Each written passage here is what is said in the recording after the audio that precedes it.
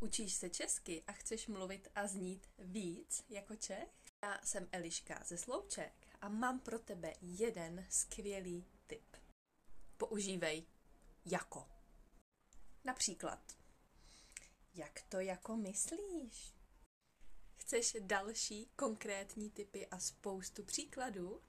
Podívej se na kompletní video na www.slouček.com.